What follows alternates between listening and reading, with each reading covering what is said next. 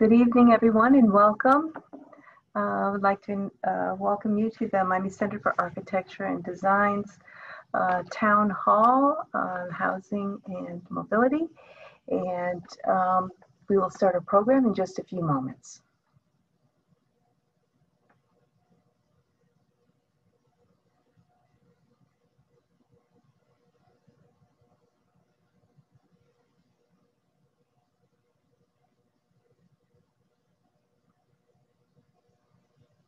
Please keep yourselves muted and your video off, which will help us with bandwidth and give us a better uh, presentation tonight. If you have any questions, you're welcome to put them into the chat feature at the bottom of your screen. And if you address them to everyone, we'll get to them at the end of the program tonight.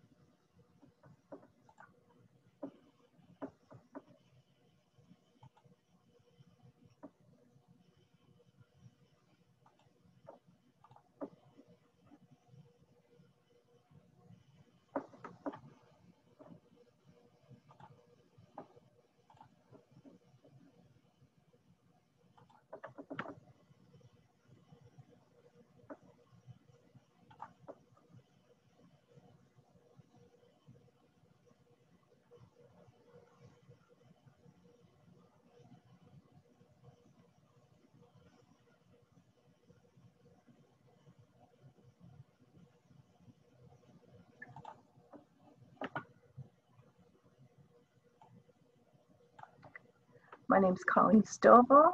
I'm the Director of Programs and Events for the Miami Center for Architecture and Design.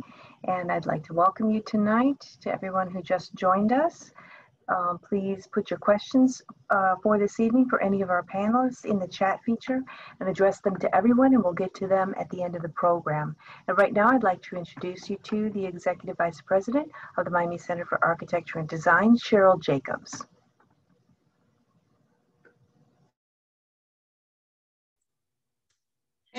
Uh, Colleen. Um, next up on the uh, program is actually Jason. So, Jason, you're up. Hey guys, yeah, gee, I thought maybe I got cut from the program. Wow. Welcome everybody. My name is Jason Hagopian. I'm currently the Miami Center for Architecture and Design president. Uh, for those of you, maybe this is one of your first, uh, one of our events you've been to, the Miami Center for Architecture and Design is the place for everyone interested in design and the built environment. We have community meeting space, educational programs to enhance public appreciation for architecture and design. We're also the home of the AIA Miami, as well as the Downtown Miami Welcome Center in partnership with the Miami Downtown Development Authority. The Welcome Center is everything Miami, cultural events, attractions, maps, history, and more.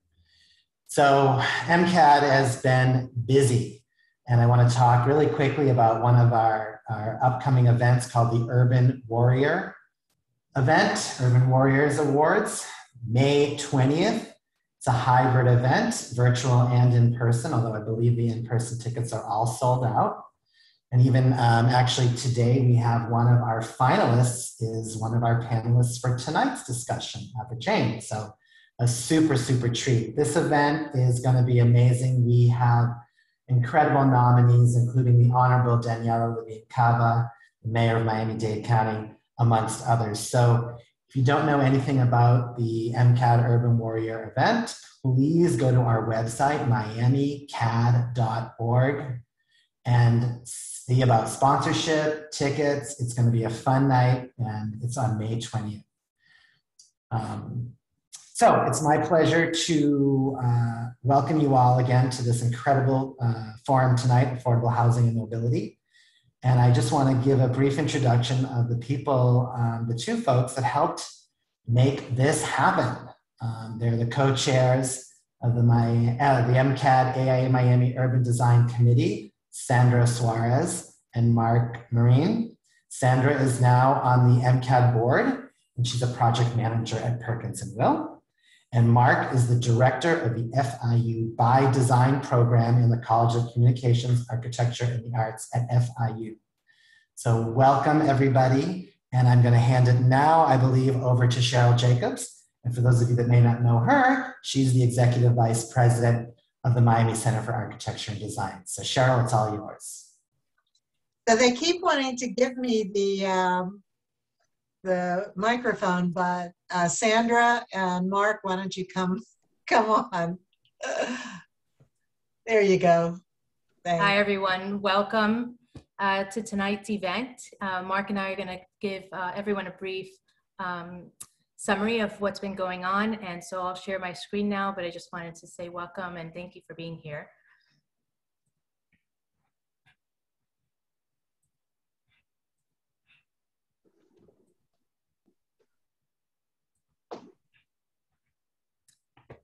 And so our town hall on housing mobility, uh, first is to just say thank you to the organizations have, that have supported this effort. Uh, Perkins and Will, FIU School of Architecture, Geo Urban Consulting, AIA MCAD, and AECOM.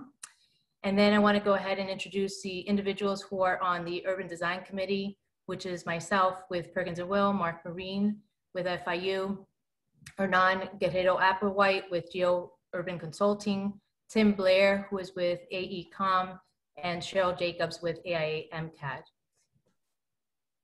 And what we've done, these are the recent events in Miami housing over the last uh, really almost three years now. And in December 2018, uh, there was a mandatory inclusionary zoning ordinance that was sponsored uh, by Vice Chairman Ken Russell. And that was approved by the Miami City Commission. The ordinance mandates the inclusion of affordable housing in certain projects in the Omni CRA district. This is a huge win for Miami as it was the first time um, that we've had a mandate on housing. Um, it has since been disapproved, but it still kind of stands as a big step forward for housing in the city. In March 2019, there was a debut of a new free online mapping tool that was developed by the University of Miami's Office of Civic and Community Engagement it identified more than 500 million square feet of vacant, unused, and underutilized land across Miami-Dade County and its 34 municipalities. That's about the landmass of Manhattan. And one of our panelists today, George Damian de la Paz, was part of that effort. Uh, in April 2019, the City of Miami District 2 launched its six-month scooter pilot program that introduced micromobility to Miami and it's been an on again, off again level fare, uh, but it has been part of our conversations um, for housing and mobility. And in November of 2019, there was a podcast launch of There Goes the Neighborhood on the stakes from WNYC Studios on the consequences of sea level rise on Miami's Little Haiti neighborhood. And those researching it, like Jesse Keenan from Harvard, as a case study for climate gentrification. Thank you, Sandy. In January 2020, after nearly five hours of deliberation and public testimony, the Miami Affordable Housing Master Plan took another small step closer to fruition Friday after City of Miami commissioners voted 5 to 0 to accept the study's findings. In March 2020, uh, the AIA MCAD created a Housing and Mobility Committee, and we held our first roundtable discussion. In December of 2020, we held our second roundtable discussion leading to today's event, and we are excited to host our first panel discussion regarding these pressing issues. You could go for it. Great. So a little synopsis, uh, roundtable one, the conversation centered on considering how the cost of housing and transportation as a percentage of income affects affordability overall in a city with limited public mobility options. The Center for Neighborhood Technology places these two costs for Miami at 50% in some neighborhoods. And the combination of housing and transportation costs provides a more comprehensive view of affordability than housing alone. The question for the group discussion was, how might we integrate and implement disruptive transportation models into a housing program to create a sustainable cost of living for Miami's working class neighborhoods?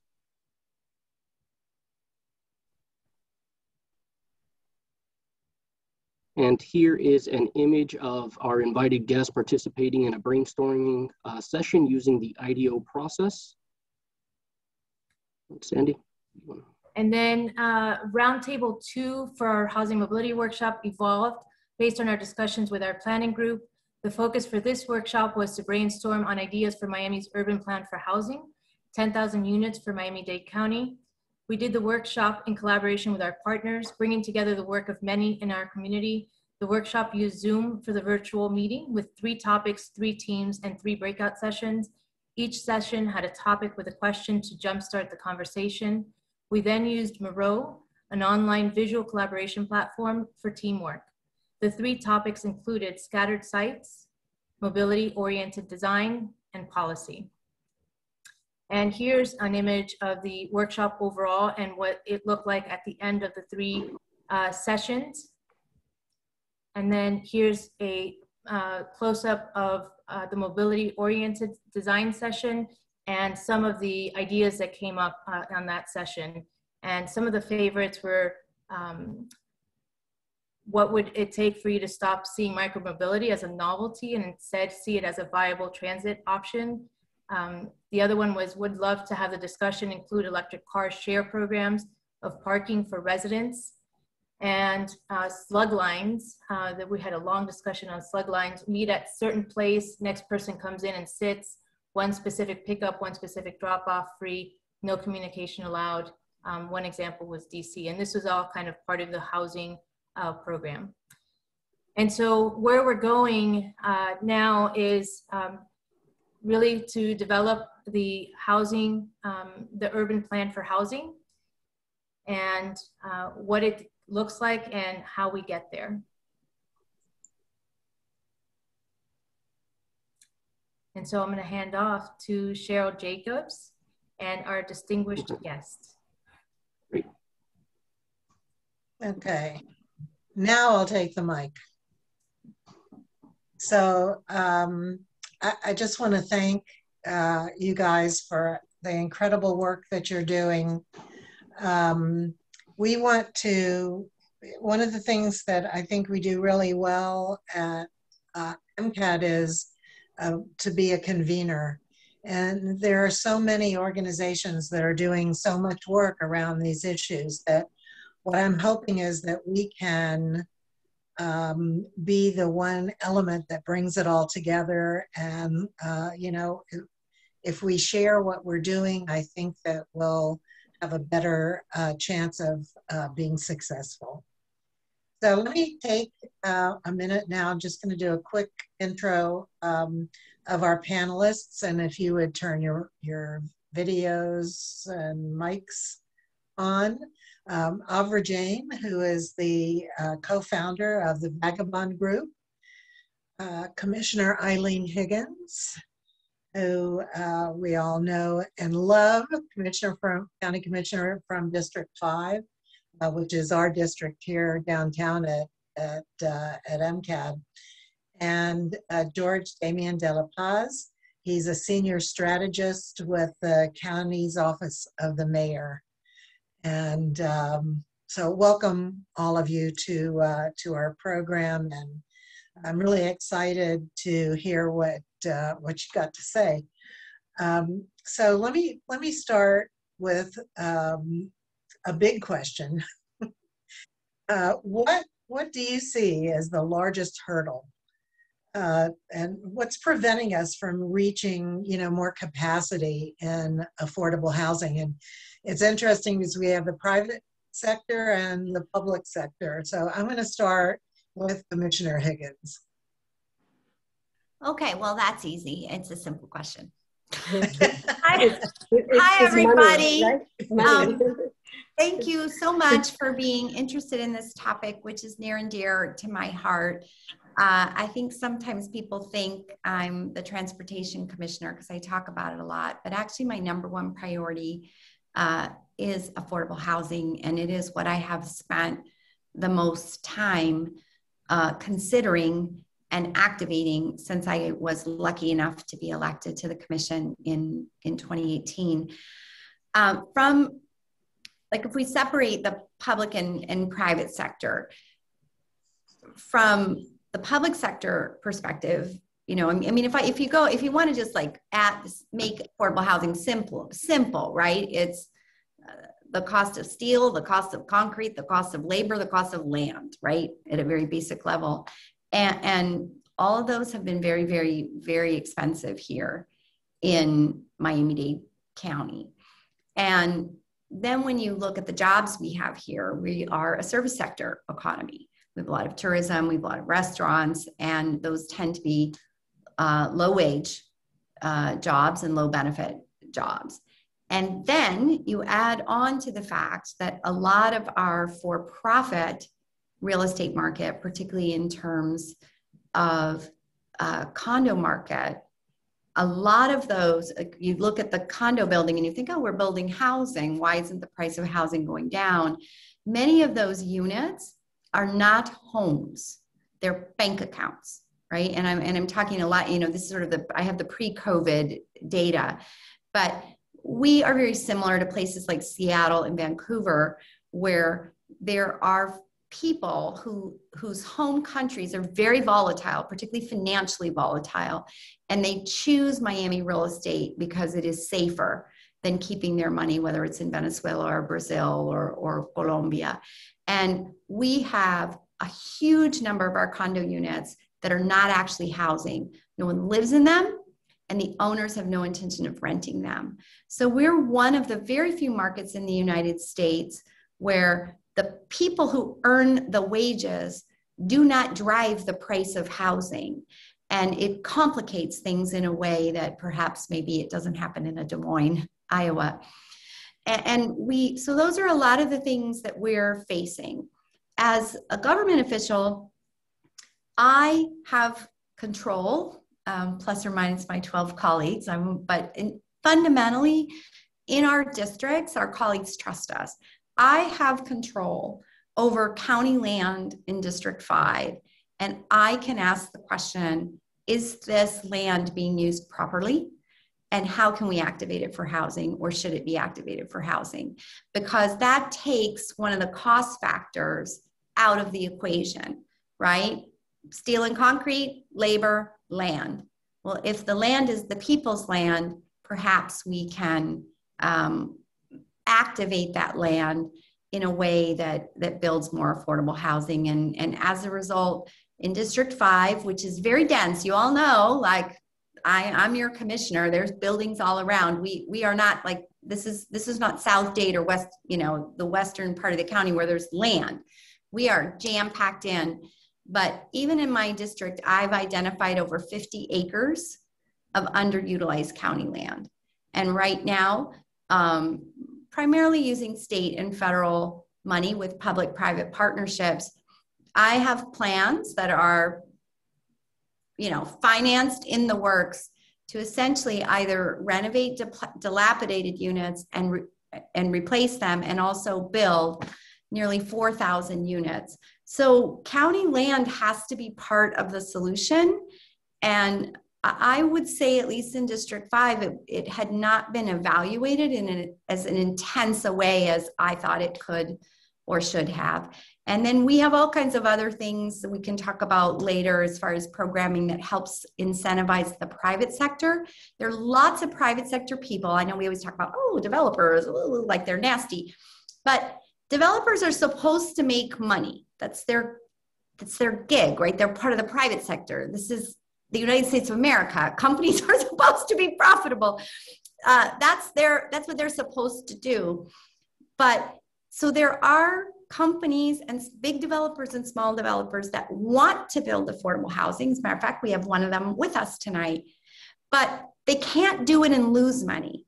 And that's where some of our programming needs to change and adapt so that we can, at a minimum, allow them to make enough money to manage the property if it's a rental property or make a small profit. Uh, and, and right now, that's not that's not always possible. So I'm working particularly on a new item that'll be at committee. We just passed on first reading to increase the maximum sales price for homeownership uh, in the county to make it possible for developers to actually build units for homeownership. We have not built any for homeownership virtually because we have repressed that price so much. So there's lots to talk about. Anyway, I've gone on and on. Let me turn it over to someone else. So, um, do, do you want, Avra, do you want to uh, address this? Just the major, you know, hurdles? Listen, Commissioner Higgins, it was really, really refreshing to hear your your comments because it is you you put it simply and it is that simple. It's really a math equation, right? What's the land? What's the cost to build? And that includes the labor. And we want everybody to have fair jobs. Um, and what people don't always understand, whether it's public or private, you know, there's you have to meet a certain threshold to even get a bank loan you know, everybody thinks, oh, the banks will just lend you money, but they won't.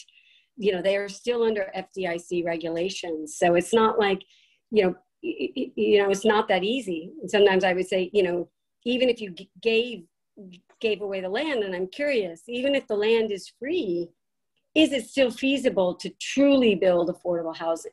Right? Like, like what and what's the definition of affordable? Like to me, anything it has to be at least 80% AMI let's say as a blend. And I believe in having, you know, um, mixed incomes in a project, right? So, the, the reality is, is the cost of construction is really expensive. Um, and, and sometimes it's hard to meet those, those thresholds. There are other fixed costs that I think that people should talk about more operationally, where there may be some opportunity. I know there's some legislation at the state level that will help. One of the things I always complain about is the other thing is other fixed costs, right? Let's talk about the fixed costs is the real estate taxes and in insurance. You know, I have to get insurance. You know, if I have a bank loan, which I've done for affordable housing and, um, you know, BAC, one of my, you know, great banks that really wants to be part of that. You know, the reality is, is I still have to get wind and, and everything. Price of insurance went up 15% last year. Um, the real estate taxes, in this city, they still charge me real estate taxes based on highest and best use. You know, when we've asked them to charge based on income, which is one of their parameters, but not their only parameter, it would be in violation for this at the state level. We've asked them to just charge us based on income, and they can't. Now, there's the state legislation, there's some um, policies where they're talking about giving um, reduce, discounting the assessments, you know, as much as 50% or um, based on affordability. Um, and hopefully that'll be at the right threshold. Workhouse, workhouse, how, workforce housing. I don't, I don't consider $2,200 a month for a studio apartment, you know, affordable. Um, so, but but at 80% MI and below, you know, so hopefully that legislation on the real estate taxes comes in. But just one thing to just just as an overall to say to everybody, you know, we're talking about bricks and mortar and equations and how do we do this? Affordable housing is it's it's not bricks and mortar. It's a social issue, and we, it's important for all of us to care a lot about this. This is about our social resiliency, you know, how we are as a community, and that and this this so the importance of this, it you know goes beyond just you know this idea of you know building bricks and mortars obviously the easiest solution for affordable housing is as if everybody was making more money. I mean, people go, oh, Miami's not affordable. Well, it, it, yeah, I mean, you know, $1,500 for a studio apartment and it's $3,500 in New York City. So it's not about being affordable. It's the problem is, is, is the jobs. And hopefully, Commissioner, with some of the changes now and the businesses that are coming here, that'll help, you know, the affordability um, equation. That's interesting. Um, you know, thinking of it, that's like a holistic way to to look at it. It's not just the cost to build something, but it's the cost to the people uh, to to uh, to rent or buy. Although I, I, I don't think that you know every everybody doesn't have to buy. Um, you know, I think renting is is something that people shouldn't look down on. I mean, you said something interesting. You said the costs of the people. So when we've done affordable housing, like think of a single mother and their child. If a, if a mother feels like they can't provide for their child or they're living in NOAH housing, natural occurring affordable housing, which I've walked, which are some of the stuff that I do, which is basically slums. You know, the plumbing under the building is not even connected. Um, you know, there's mold in the buildings, there's all these things. I mean, remember this, we're talking about people in their lives. And what does it mean? How does it affect their stress level? Are they safe? The bars on the windows? Are the doors wooden? You know, all these things. So, you know, we're talking about people's lives. We're talking about how they feel about themselves. We're talking about how children feel safe to go home. We're talking about, you know, this idea of feeling safe and um, and creating a healthy environment. It's just emotionally, physically, you know, for self-esteem. I mean, that's really what what we're talking about. We're talking about affordable, affordable housing. We're talking about people's lives, not just their buildings. Absolutely. Uh, we, we, George, do you want to add to this? I'm sure you do. of course. Good evening, everyone, and thank you, Cheryl, for the introduction. I would like to quickly thank the organizers for putting this town hall together and the panelists and participants for their time. I'm going to step back a little bit and rewind to way before the pandemic. In October 2019, the county set an ambitious unit goal of having 10,000 affordable units either under construction or completed by the following year. And due to the leadership of the mayor, Commissioner Higgins, the Board of County Commissioners, and the Department of Public Housing, we have reached that goal despite the pandemic. There are already 14,000 new, affordable, or workforce units in the pipeline, which includes developments uh, renovated by Avra. And to give you a sense of scale, the entire city of Key West is 13,000 units. So to put that a little differently, the county will soon gain a small city's worth of new affordable and workforce housing. And many of these units are on or near an existing or future public transit corridor. Even with those historic gains in inventory, the demand for housing continues to outpace their supply. In order to meet this demand, the county must continue to produce more units even faster. Uh, the University of Florida and Miami Homes for All estimate that we would need to build or preserve 200,000 homes by 2030 to keep up with this demand. And getting to that goal is going to require various strategies, uh, including assisting renters and owners, leveraging underused land, preserving existing units, and increasing funding for development. Wow. Um, you know, when you put it that way, uh, it, it's just a drop in the bucket as as much as it sounds. Um, and you know, I never thought of it in terms of the size of Key West, but that really puts uh, puts it in perspective. That's for sure. Um, so, what what what do you think? Um, now we have the public and the private sector, and um, I think sometimes there needs to be better communication or more connection between the public and the private sector because when you go to Urban Land Institute meetings and talk to Avra, you're you're not the standard developer, you know. You're you're special and and you're a person that cares about you know what they're building and who they're building for. But what do you think is needed to ensure that developers and policymakers come to terms or communicate better to to help move a lot of this forward? Or is it do you think even that that's an issue? Um, eileen you want to start with that or? Uh, yes i will I, I remember when i first got on the commission i began to realize that if i wanted to build i'm making it up a 30 story building of luxury units and I wanted to build a 30 story building of affordable or workforce units, it would take the same amount of time to get my permits, right? And so I actually passed legislation, it took quite a while to make sure that any project that had affordability in it, that these projects moved to the front of the line in terms of permitting and worked pretty hard with RER and in some of our departments, I think we've made great progress. We were able with the systems uh, to do this now. And by the way, every now and then a developer actually now forgets to check the box. This has a thing of affordability, but now you're able to check a box that says it's affordable and it's supposed to go the front of the line in in all of the departments. Uh, DERM, as we all know, is kind of like I don't know the anchor dragging all permitting to the bottom of the sea. Did I say that? I hope this isn't being. No, yeah. well, uh... but anyway, um, DERM has some computer system issues that don't allow it yet very or very inexpensively nor quickly to be integrated with the other permitting and we piloted a few new things about meetings and i actually have um, i've been secret shopping the process i have three rather I, I don't want to say large but good size developments going through the process. And um, by the way, the departments know that I'm watching this and, and we're kind of keeping a dialogue of what's worked and what hasn't worked.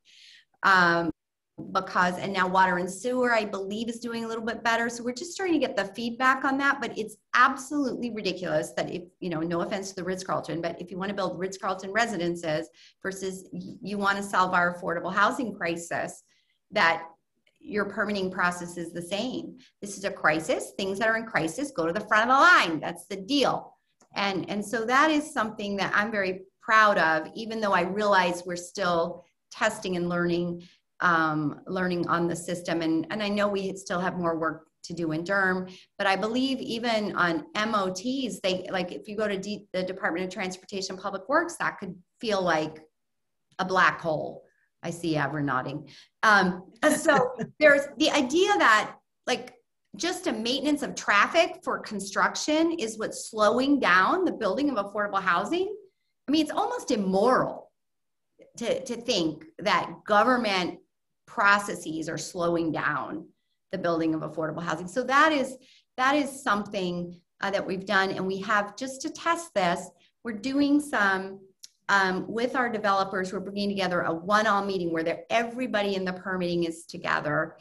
And hopefully we'll get better. And um, certainly in some cases, we've, it's been very, we've been very, we've been complimented and others, um, you know, we still have work to do. And I know that. And, and I, I think the, I think the administration knows that too. And, you know, I, for those of us that are religious, I just continue to pray for derm That's, and sometimes it's hard to trickle down from the top to you know to get to that person that's at the permit desk yeah um avra did you want to comment on that oh gosh I, I, you must you must be building because you're hitting all the all the right things. You're right by the way public works like and that's the problem you know when you go through this process and you mentioned DERM of course everybody knows DERM but it's like when you hit one roadblock it's everybody else could have tried really hard and i and everybody does have good intentions. I think ace in the building department is doing well and you know obviously these new systems and and i so i everybody wants to do better that's for sure um, but if you have one portion of this not work well it doesn't work in whether it's DERM, which we all know, and I think they're trying to bring a DERM officer into the building department, which they need to do and so that there's better communication. But public works, all of a sudden, you know, public works can hold you up for months. So all these people could have done heroic efforts, and then you've got one department that holds you up. Yeah, I mean, it's like that's the reality, and it's yeah. it's and it's frustrating. I think, especially if you want to get the private side. I always, you know, you know, one of the things that I've always said in doing affordable housing, because I've worked with Mr. Liu and now I've worked with Omni CRA, is if you the, the developers do want to do good stuff for the most part and they certainly want to create goodwill if they don't they should want to um, you if, if you got to make it easier and certainly the permitting would be part of it you know I, I, can tell you you know the administrative part of surtax or what you know it, it, it keeps a lot of the i say better developers you know one thing i would throw out there commissioner higgins is like instead of you know developers were always asked well, not me because I do smaller projects, but in some cases, maybe we're always asked to, to write checks for, for public works, right? For parks or do things like this. Instead of asking a developer to write a check for affordable housing or for parks or for this, ask them to build. Uh, uh, may, and maybe it's on one of your sites. Maybe, maybe the commission has a site.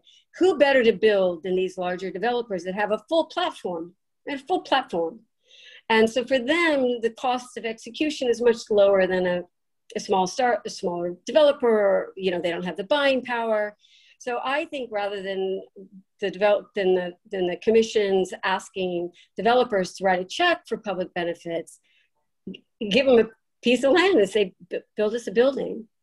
Well, yeah, along those lines, um, what do you what do you all see as, in terms of policy, uh, that really needs to change? Um, because I know some of the things you spoke about, Eileen, um, but specifically, are there policies that, and I'm going to throw this to George, Um, are there policies that the mayor's office is working on, probably with Commissioner Higgins' office, um, uh, you know, to change policy? And what are those kinds of policies that need to change? Sure. Uh, and before I do, I just want to point out again that Commissioner Higgins has been a consistent and fierce champion for fixing the regulatory barriers to building affordable housing in Miami-Dade County, from expedited permitting to modifying the infill housing program. She has a really long track record of bringing new housing solutions to County Hall.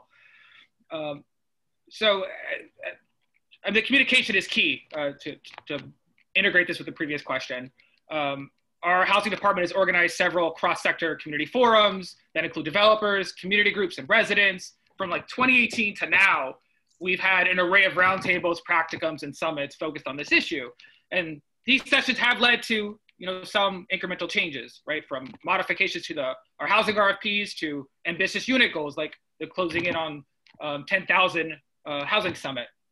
Uh, more recently, um, Mayor Levine Cava and the chair of the housing committee uh, Commissioner Monestime, have created a new roundtable series on housing solutions. And the first one was held last week, and it was focused on how partnerships with the faith-based community can drive affordable housing solutions. And I think we really have to continue to convene and collaborate uh, with builders and the broader community to, to deal with this pressing issue. That's great. Uh, and um, I'd like what about Georgia, policy? I'd like to ask George a question. George, wait, wait, so, you know, I know we've sat on some of these committees together. What do you think about the ADUs, the our, our auxiliary dwelling units? You know, and that this idea that, that we have, in, in talk about infill, integrating people, because again, part of part of affordable housing is this sort of social solution and then the mobility, right? If, if we can get people more on the infill lots and in these things, like auxiliary dwelling units, if, if people had zoning or you know had the space in the back where the county build a pad and plug in you know is there some sort of a prefab unit that would that would meet the qualifications in the building department? I mean we could do some things really quickly. How do you feel about adus and and and what number does that look like to you if, if there was policy around auxiliary dwelling units? Absolutely. It's a, a solution that we really have to consider. Uh, and the county has made some efforts to uh, to do that. So in our previous surtax application, they set aside $2 million for innovative affordable housing developments, which is pretty experimental for um, one of our agencies. And the set aside was meant to spur local experimentation with new building materials, express accessory dwelling units, community land trusts, and other novel solutions. Uh, another change that the, the county has made um, that would increase density in, in, a small way was modifying the infill housing program, which traditionally is focused on single family detached homes, uh, to, to allow duplexes. And I think these are very preliminary steps, right? Like these are obviously not sufficient enough to like to, to pursue um, this strategy fully. But I, I think what we have to start to do now is like, okay, how do we make some of these things more routine? How do we create the right amount of incentives to encourage more experimentation and innovation in the affordable housing space? Uh, Eileen, you want to address that? Well, I mean, I think actually it's interesting. I hadn't really thought about the accessible dwelling units. That's why I participate in panels. Not that I know anything, but everybody else always does. So I can think about it more fully and maybe propose legislation. Um, there's a couple of things that I've um, been trying sort of to bridge to what um, George was saying is we have kind of this every now and then you get a big piece of land and you can do a big development, right? You can put 100 units on there. But we have a lot of naturally occurring affordable housing as, and AVRA works on that space. And hundreds of thousands of people live in those units. And right now, and I represent a lot of the city of Miami, in Miami 21, depending on the developer who buys it, they toss those people out they build you know four luxury things so the zoning doesn't work for a lot of developers to be able to say oh i have like a nice little 100 year old or 90 year old building and there's you know there's 12 units in here there's eight units in here and they're they're old so they're not up to code. So i've done a couple of experimental um, things both legislatively and that are in their first year of um, trial and error and learning. Uh, the first is i established it's just got a million dollars but if it starts to work out and did this through Dade Heritage Trust um, a revolving loan fund to preserve to historic buildings. And so we have the first building in that in that process. Uh, and uh, so I have to kind of figure out, and I think it is actually successful. I and we already have that building under construction um, or under renovation, better description.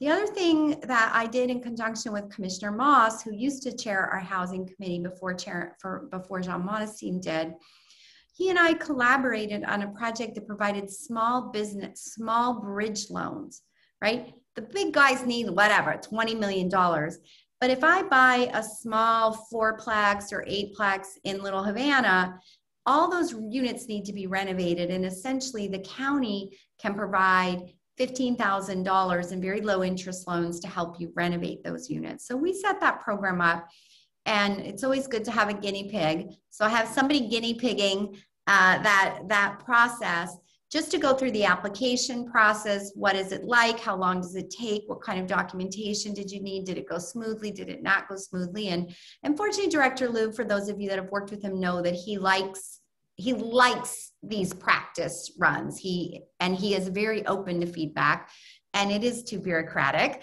Uh, so we'll have to make a, a little, you know, changes to the application process. But my goal is that when you have a good developer, like a meaning a well-attentioned developer, that really cares about our neighborhoods, cares about our historic housing and our older housing and, and naturally occurring affordable housing, that the county does provide that bridge money. And the other piece of the equation, which I am working on, is the state requires, George, you probably know this better, it's 35% of the money we get from the state has to be spent on home ownership. We cannot get that money out the door. It is sitting in a bank account. And um, we and we do not have enough money for rental units. Like we can build rental units out the bah, bah, bah, and in a perfect world, I would transfer all that money there uh, but you know the state of Florida, it's it's a battleship. It takes um, it's slow to turn, and sometimes you have to battle with it. but um, the reality is that money is sitting there for home ownership, and we have for more than a decade capped home ownership prices artificially at two hundred and five thousand dollars. You can't even buy a studio condo for $205,000, which means it shuts everybody out. And we've done a great deal of analysis. Doesn't matter if you're building a single family home, you're building a, like a multiplex, like mid rise, you're building a high rise. If you're a developer, I'm going to throw a number out there and I'll see if Avra nods or not. But essentially, for a unit, you can't build it for less than 250,000, right? Maybe 240, maybe 280, depending. But it's impossible to build a unit for 205. So developers who want to do the right thing, if they have the land, they're building for rent they're not allowing home ownership. And I have an item that will be at our June committee. It just passed on first reading Tuesday that will raise that rate to be indexed to um, some federal funds and will raise it to a minimum of 299,000, which which developers can build and make a little bit of money. No one's going to become rich doing it, but if you can build a unit for 250 and sell it for 299 and you're a well-intentioned developer, you can do it. And for me in my district, if the commission is kind enough to pass my legislation, which by the way has a ton of resistance in the community, a ton of resistance. Like I'm getting hate messages for doing this. Um, I know that I have a I have a developer that is ready. They have the rights to the land that they will take a building they were going to build for rental and they will build 80 home ownership units. And what that means is a young physician's assistant, a nurse, a nurse, right? Uh, somebody working at the public defender's office, a teacher, a firefighter, people that have good jobs but aren't rich can get into their first home. And, and those are some of the policy changes, but I can tell you when, and Barbara Jordan, by the way, was like the queen of affordable housing. She was, oh, I see George knocking, like Barbara Jordan, like I just like follow in her shadow of greatness on affordable housing. And she and Commissioner Moss, they taught me everything I know. Uh, even she had a hard time getting getting this passed because in the community, when I say 299,000 for home ownership, people say, well, that's still more than I can afford. But we have affordability issues at all income levels. very low income, medium income, right. and workforce. And this can help solve part of that because guess what? If i don't let those workforce people get into those units they're competing for the lower priced ones with people that do have lower income. So i'm hoping i make that happen because i have a building ready to go. And i and if it doesn't happen i'm going to build a building that's just going to be for rental. And then our working class families are not able to have the county activate their path to home ownership, which which would be a shame. Well, let let us know if we can ever help with advocacy, because you know we have a lot of members, and and we're always happy to do. I'll let you know when the committee comes up. okay. Um, it's, June, something or the other. I can't remember. Okay, let let me know.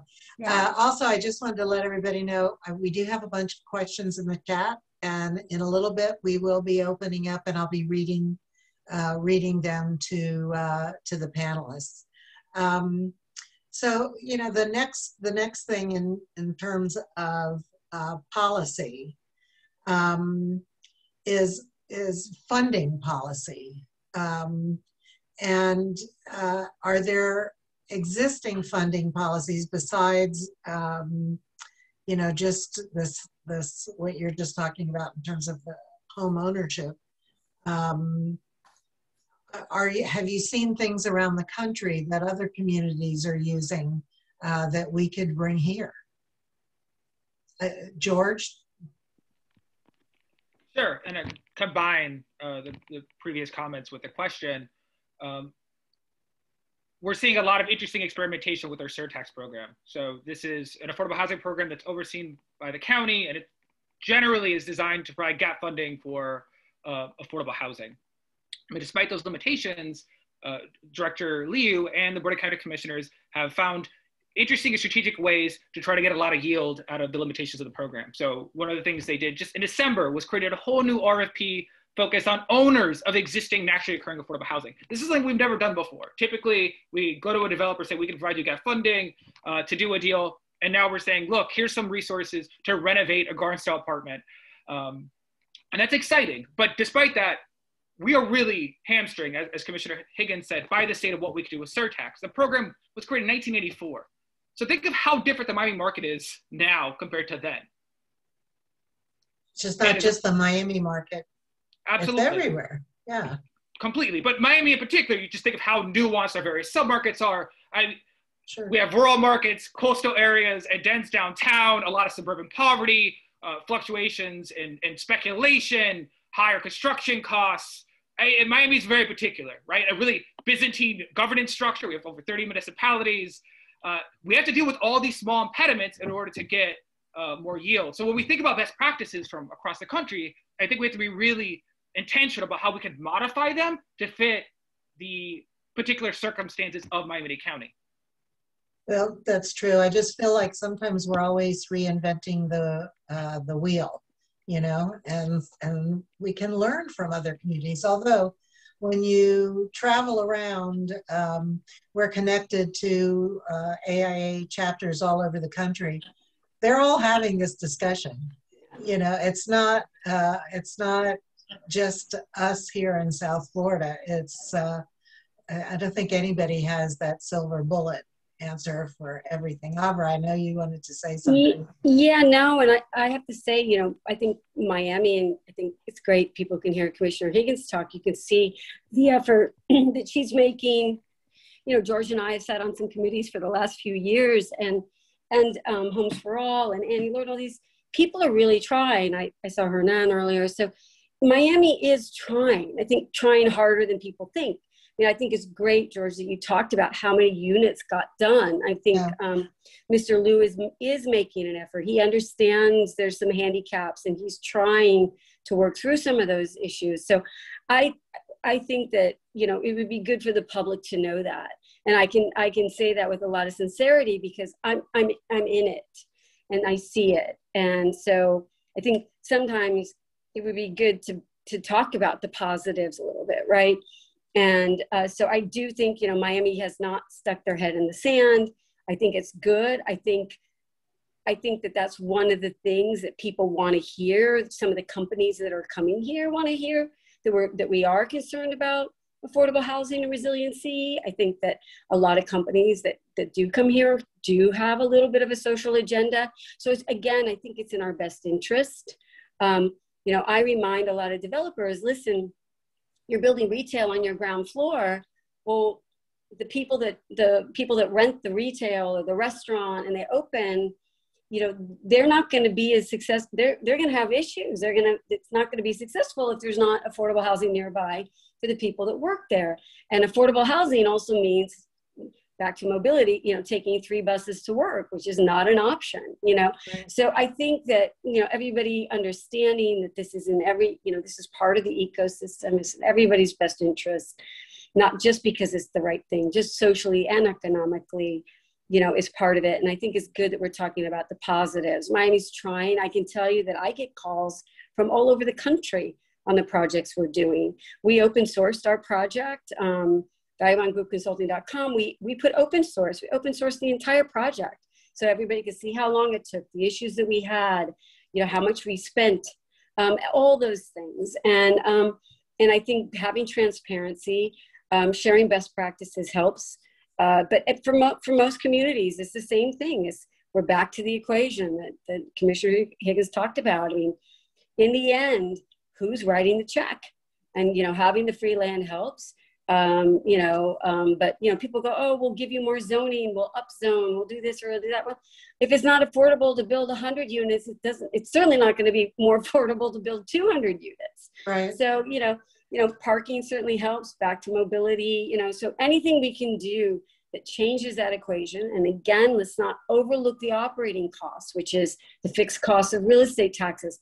You know, um, the fixed cost of real estate taxes, that can sometimes be the difference between between a bank funding a project and not funding a project because because they're looking at NOI. So funding, so having the real estate taxes be income based, or if the state legislation does pass, and hopefully this commission will get behind it. And then maybe there's an, um, throw out an idea, Commissioner, what if all affordable housing projects that were put together, could we pool insurance? Could we pool insurance together so that, again, one of those fixed costs, which is typically a pass through to the residents, real estate taxes and insurance, is there a way to do something like that that could, um, again, help change the equation? That's an interesting um, question, and um, you know, you you kind of answered uh, one of my next questions, and it, was, um, you know, what other items other than just subsidies uh, are needed? Uh, what are other? And one of the things that impressed me uh, when we had a conversation recently when you were here at MCAD was how you managed to look at all the different areas for getting something funded. It's complicated and it, it's not just the typical go to the bank and, and get a loan, but you have to, there's so many different um, areas. And um, I think that's really interesting if you could talk about that for a minute. Well, Commissioner, I don't know. I know you've you've worked on on getting um, funding, like like the no expediting the plans. I've tried really hard to say, why do you like permit fees? Like if we're doing truly affordable housing, and they say to me, oh, Aubrey, if you were a non for profit or if you were an agency, we could forgive permit fees. I'm like, permit fees are, it's a big number. I mean, those are the things that move the equation, you know? You know, maybe, you know, because I sometimes I see take the, the, the, you know, policies, take take from one pocket to only want to give it back to the same pocket. I mean, you know, when we, you know, so so maybe um, maybe permit fees would be another thing to address. Like, how could we? I know there's some considerations for impact fees, but uh, you know, I've asked for permit fee reductions, and nope. I've asked for permit fee reductions. I've asked for consideration on real estate taxes. I mean, and it's just like you know, um, it's it's. I'm having a hard time making the equation work. It's an interesting concept, Commissioner. No, I mean, I think we have to look at all kinds of, of issues. The real estate tax thing is a Tallahassee thing, which um, I actually have been up twice talking to the governor's chief of staff about this, uh, which doesn't mean we have a bill going anywhere about how you could make real estate tax payments be flexible in the way, by the way, that they are for um, historically designated properties, right? I have the ability to to reduce property taxes for historically designated properties, like when they're all official, official with all the constraints, um, and that was done at the state level. But we don't have the ability um, to at the commission level to to make those changes. That has to be worked uh, with the with the state legislators. But you know, both permitting fees and impact fees are something that we could um, look at. You know, and and I actually remain convinced that on for-profit projects, meaning like not affordable, like whether whoever's building them, people would pay more in permitting fees if permitting was faster because time is money. Let's say I have a building and I have my construction drawings and it's an empty piece of land and it takes me 18 months to get my permits. I'm paying real estate taxes on that empty piece of property for 18 months. So it's not free to have a piece of empty land. So for people that are building luxury or building office buildings or building this or that, or even it, it they might pay more for permitting if we could convince them we could get them permits in seven months, right? And and that would allow us to be more flexible with pricing on permits for affordability and and I, I, will tell we talk a lot about permits, but I do think in, in Lourdes Gomez, we have a person that is actively trying to innovate and making a difference there. I realize that for some of your building permits and other things around the county, you've got to go to a municipality. But I, every time I meet with her, she's coming up with an innovation that makes it faster to to turn this around. And I do feel as if we are in reasonably good hands with her if she has the time and the people and the computer support, right? The IT support to to enable this enable this to happen. Of course, all the other departments, trans, you know, public works, transportation, DERM, they don't all necessarily report into the same, same system, but we have to make permitting cheaper, whether that is through time or whether it's through fees because time can cost you as much as the fee. As the fee. Because yeah. you are still paying the real estate taxes. That's true. Uh, so I, I have a couple of more questions that I want to ask um, before we go to the uh, chat Q&A. Um, one of them is, uh, especially to Eileen and to George, how can we as citizens help you move your agenda? Eileen, you want to? Um, I mean, I guess for me, I try not to I try not to call out the troops if I feel, even if, let's say, an item is very exciting and I know it's going to pass. I really, so, sometimes sure. it makes you feel good to have the community come to the commission meeting and say, I love this idea, I love this idea. But no offense, it, it takes time out of people's day to come. And I try never to ask people to come unless I truly need them. like when I invite people to come, it's because I'm afraid. I maybe need one vote or I need a person to talk, you know, to talk to make sure that this particular commissioner is connected to the idea. And and and so if anyone is behind the scenes on these items willing to you know to help we appreciate that and and you can always reach out to us you know the the tallahassee tax issue is is very very complicated because it's tied up um, with the fact of the matter is that for better or worse whether we like it or not the state of florida is not run by south eh, by miami-dade county. It's run by other kinds of people. And it's and it means we're not that well connected. Like i can yeah. talk to all of our Dade delegation about it and it, it doesn't mean that it gets through but it doesn't mean we can't start bringing these at least trying we have to raise awareness because it's like the old adage when you're selling right you got to ask for the order seven times you know the first no is just the first no. You got to convince them and figure out why. And and we have to go back we have to go up there stronger. And, and i'll be the first to admit i have not gone up there with this as my number one priority. So perhaps we should think as a as a group of people of, of finding a strategy and maybe a local advocate here um, and local advocates from maybe six or seven communities around the state of florida through your other chapters cheryl uh, where we're starting a, a statewide conversation rather than a, a Miami-Dade County Absolutely. conversation. Absolutely. Uh, George? Sure. So one of the first things the mayor had her staff do was listen to residents about the type of housing solutions they want to see. And Avra rightfully gets a lot of uh, focus for her exciting affordable housing developments, but she's also incubated several exciting community uh, development solutions in her capacity as a trustee on the Miami Foundation board. And the Miami Foundation, along with uh, other community partners, has helped fund our Thrive 305 survey, which was completed by more than 26,000 residents across the county. That's 1% of the entire county population completing a survey. It is the largest and most extensive public issues oriented survey in local history. And the survey asked residents what type of services they want to see in Miami after the pandemic. So one in two respondents said that increased access to parks would be the most beneficial service to their long-term health post-pandemic.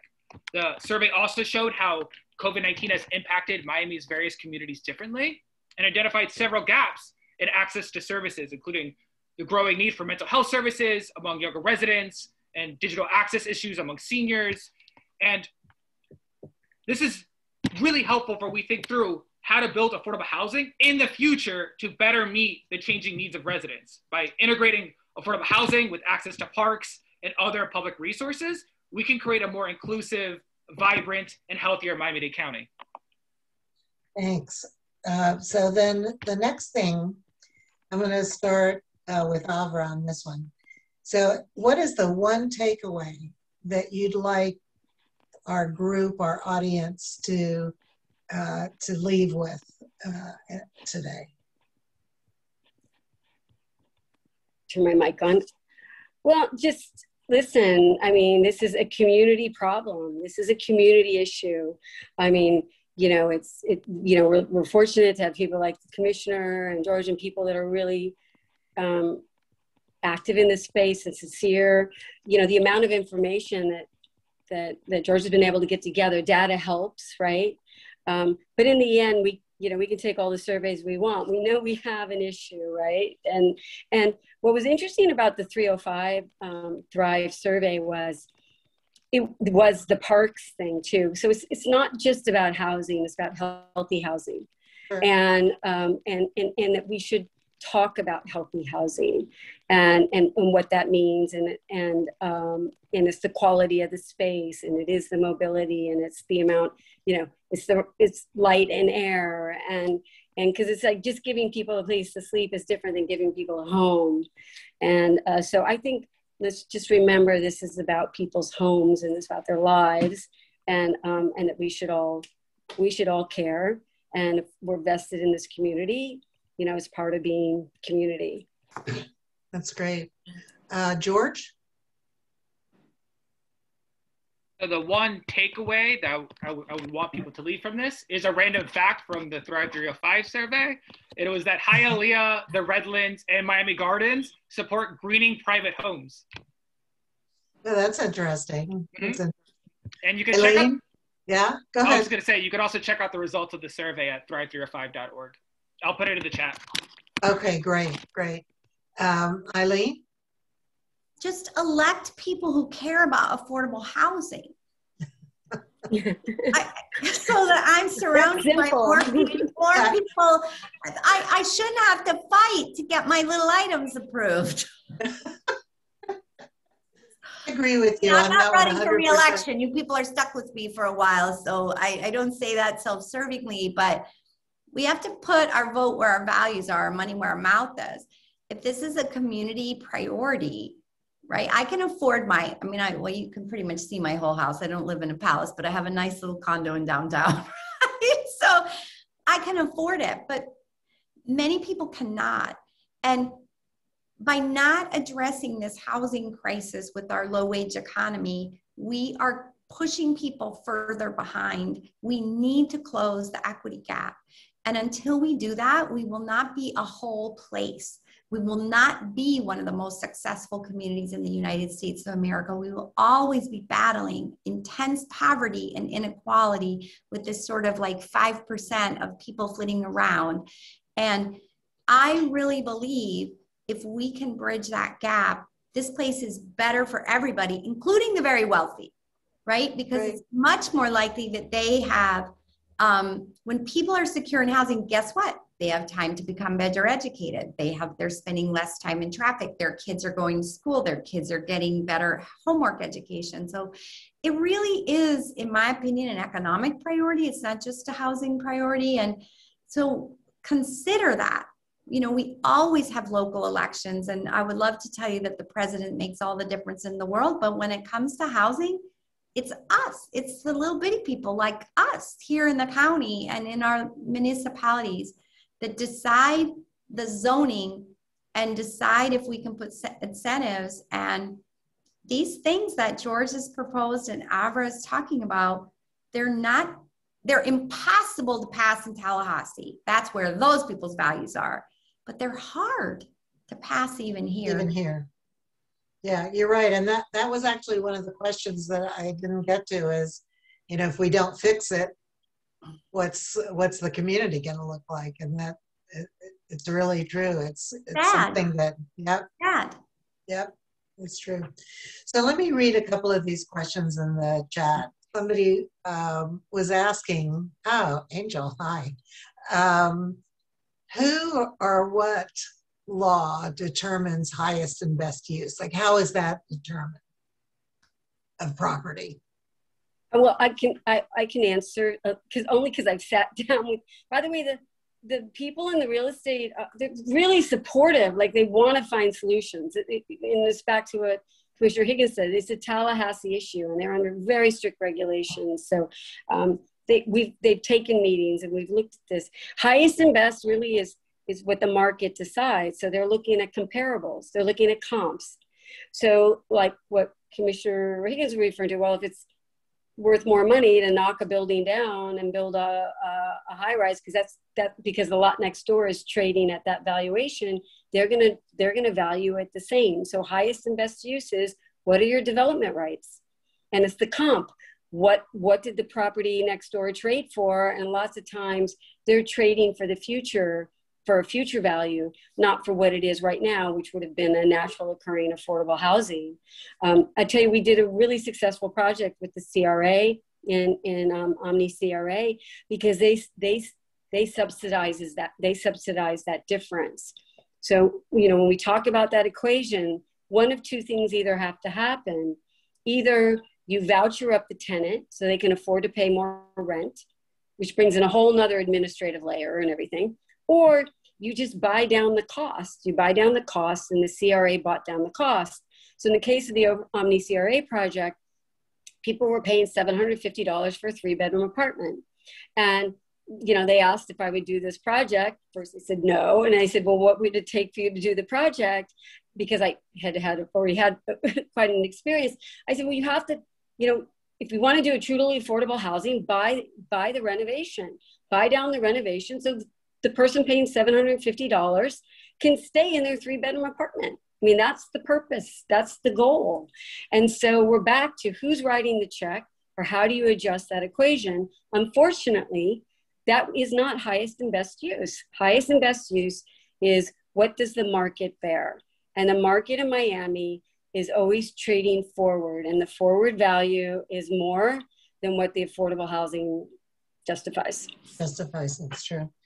So, so one of the things that um, another question that's here that we didn't really um, uh, define is what is how do we define uh, affordability in terms of our community? whoever, uh, George, you want to answer that one? Sure. So HUD expects that a household should spend over 30% of their income on housing costs. And that is a standard threshold. And then a lot of these affordable housing programs are structured around particular target populations and income groups. So it becomes really Byzantine when you start looking at the, the slew of different federal, state, and local programs and what population they'll serve and how to coordinate all those programs together. Uh, the University of Miami's Office of Civic and Community Engagement has created a really nice primer on funding programs, on the landscape of affordability, including a, um, a glossary of basic terms that I'll put in the chat now.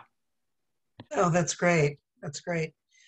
And um, I have one question here, and I think I think I'm gonna uh, have the answer to this one, but I'm gonna hear, see what you say. Is have there ever been discussions about integrating the permitting authorities um, so that we don't have 34 different, um, you know, communities uh, permitting things?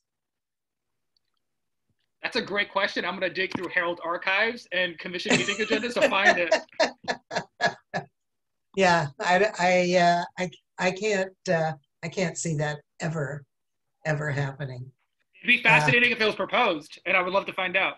Yeah, it'll be interesting. We'll have to, we'll have to research that. Um, so how uh, specifically, um, just reading from the chat again, is uh, the City of Miami and Dade County incentivizing smaller developers uh, or land owners um, to to build these uh, to build projects.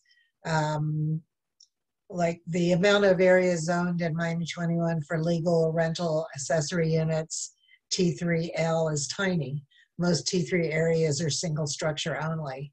Uh, and there's an entire stock of efficiency units missing from the central core. So, um, yeah, I mean that's one of, that's one of the things I brought up earlier. I think those those ADU units could be a, a solution. Um, and what could you do programmatically for that? And and could could we come up with a prefab program that would allow something to be done really quickly? You know, where we could and where and, and think about the integration right? If you could get these efficiency units it, it, you know integrated into these infill lots and these scattered sites you know from a social standpoint i think is also really important. I think the i think the adu um, solution is something that should be explored more. And and, and the t3 the example that the question the person posed a question is a great is a great question. That that is that is the question. That is the question we have to continue to use that. Uh, Sandra and Mark, you know, add that. I think that's something that we had discussed some, but we need to um, continue that uh, that discussion and and also um, you know the issue of uh, zoning uh, and allowing uh, tiny homes um, you know allowing more uh, on property you're you're smiling george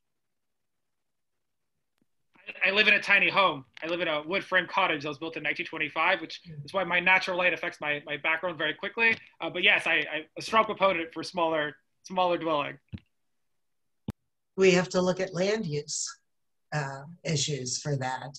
Um, so, what about industrialized construction in Miami um, and attack the 40% waste.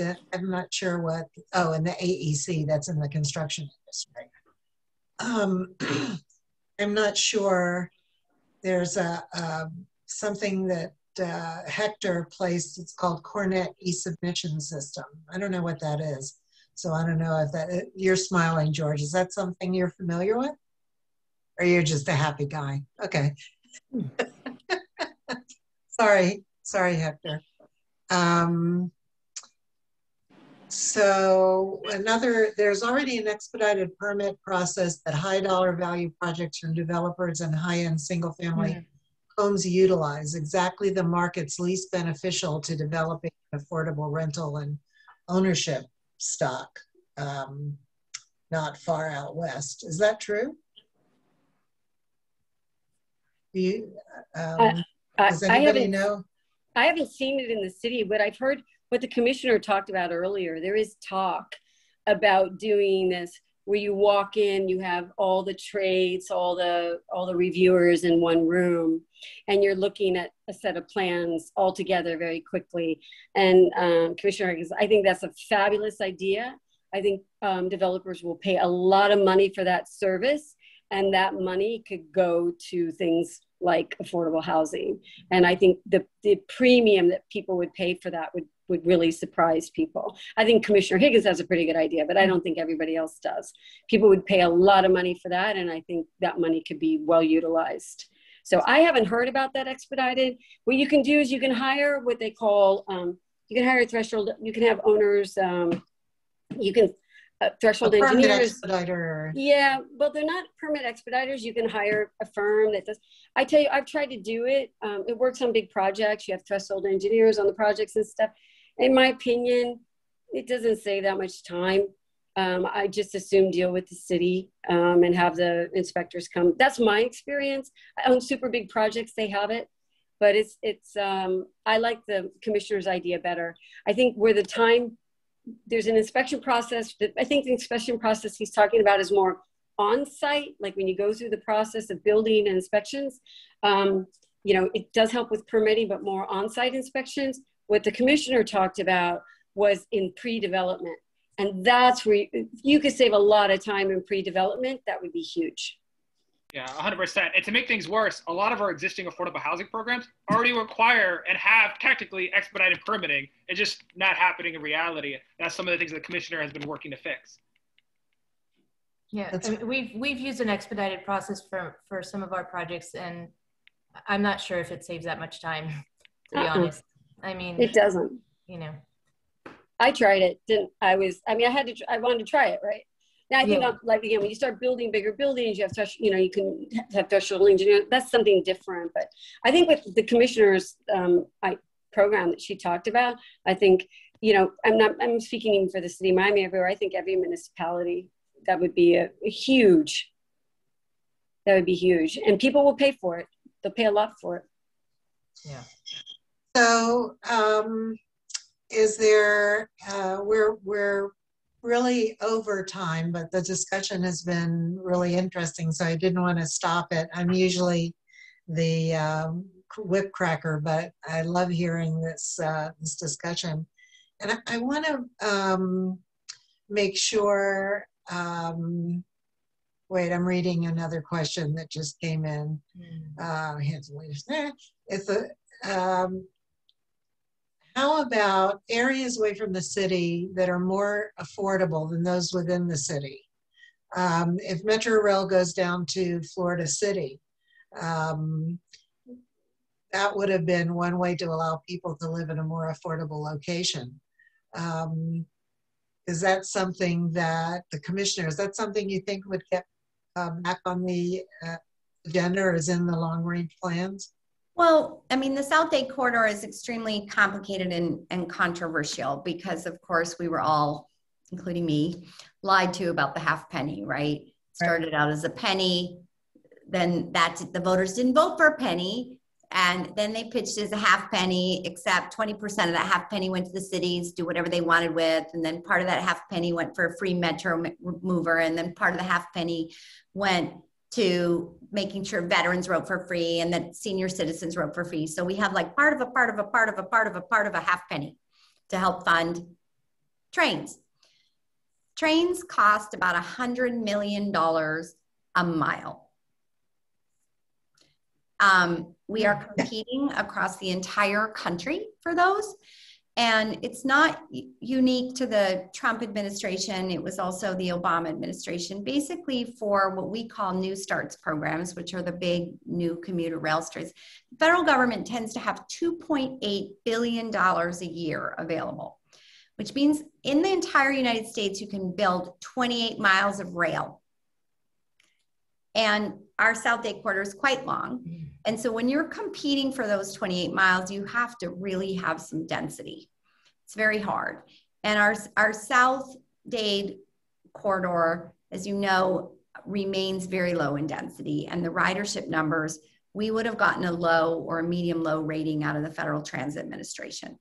And when you submit for a rail project, um, you submit your data and you get what's called a rating and you get a low, medium low, medium, medium high, or high. On a rail project, it takes between five and eight years to get your rating um, on average in the country. And we believed that this project would receive a low or medium low rating if we went with rail. And we would not yet have finished the environmental studies to even be in the process to get our rating. So somewhere between five and eight years from now, we would get a rating that says you're low or medium low. If you get low or medium low, you don't get funding. So we took an interim step, which is bus rapid transit. Um, um, I've man- I've lived um, in many places in Latin America, especially uh, in Mexico. I've ridden world class bus rapid transit. Fundamentally, it's an above ground subway and it's a fantastic system. We knew that if we submitted that project, it's about a $300 million project, we would get a high rating and we would get our funding within the year, which is essentially uh, what happened. We submitted our studies in August. I flew up to Washington in February to meet with the, meet with the FTA administrator. By February 15th, we had a high rating. By June, we had the money. so, so we so we're building this bus rapid transit system as an interim. But if you live in Homestead or you live in Florida City, you are happier with this system because you will arrive at the South Dade station in less time than if it were a train because you can go nonstop. We're able to do multiple routes, which versus a train has to stop at every every every stop. And this will be operational basically two and a half years from now. And it so we will have a mass transit system that will take a half an hour off the commute of people in South Dade operating in less than two years. We would not, if we had applied for rail, even have our rating yet. We wouldn't even be in line to ask for funding. So I know people are disappointed by this um, because they were promised rail, which again wasn't realistic. I am thrilled that we're going to have this bus rapid transit system operating in the next two and a half years. And then as our density and our ridership builds, we're designing these stations in a really cool manner um, so that they're easily adaptable uh, to rail. And we, we can do that. But quite frankly, if you get back to the affordability issue, affordable housing does exist in Homestead, naturally occurring and new, right? And it does exist in Florida.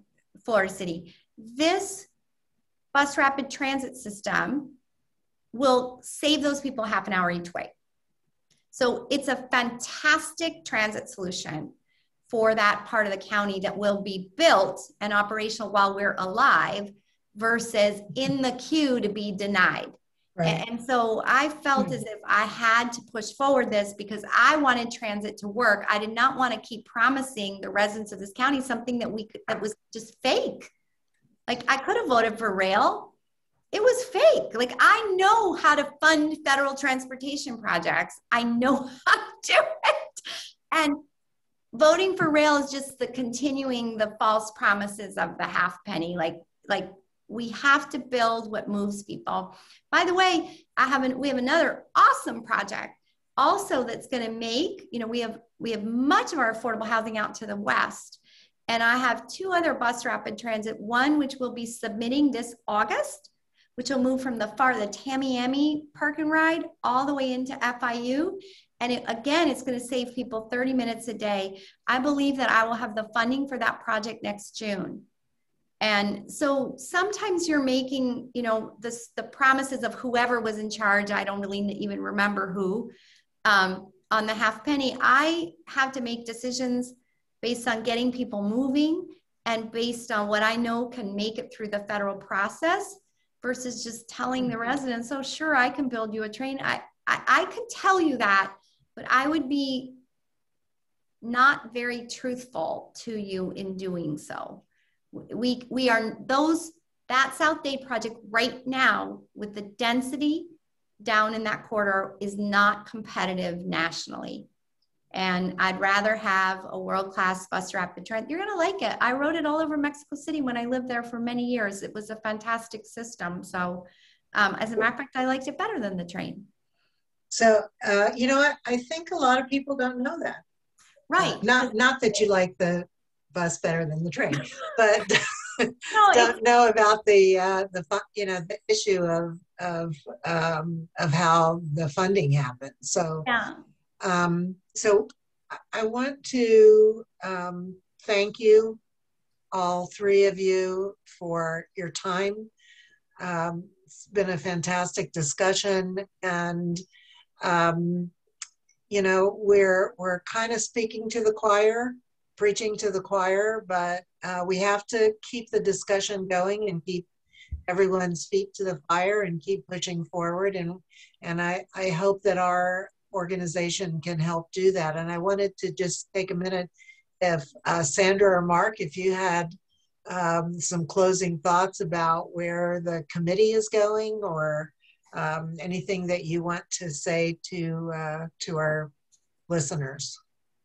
Well, I first obviously just say thank you so much for a robust conversation. Um, it's interesting just to hear kind of how all the different pieces come together and you know that all you know the three of you have a relationship and that you're kind of always working on these issues and i think it would be interesting to see how we kind of fold this into um, into kind of one one big plan or one big idea to pull every all the ideas together in a sense you know not really sure how we would do that but um, it is it's very exciting to know that you're all kind of working on it and and it's kind of part of what you do every day. And thank you. I really appreciate it. Yeah i'm gonna i'm gonna jump in there. Thank you sandy. Uh, and sandra used the word robust. I'm gonna i'm gonna use the term candid. So i thank you all for your very candid conversation because i think we all needed to hear it and we all understand and see on a day-to-day basis the problems at hand and uh, it is the goal of this committee to keep pushing forward however we can to kind of move that needle. So we will circle back and, and come up with a game plan on how to kind of create some type of model that deals with policy, ADUs, and all of the other elements that were discussed today. And once we have that, we'll send out some findings. But, but thank you all, and thank you for everyone who's here and everyone who gave up time out of their very busy day um, for being here as well. Thank you. Thanks, everybody. Take care. Thanks, Great everyone. to see you all. Thank you. thank you, Thank you. Fantastic. Thank you. Bye. Bye, Thank you to our panelists. Thank you. Thank you.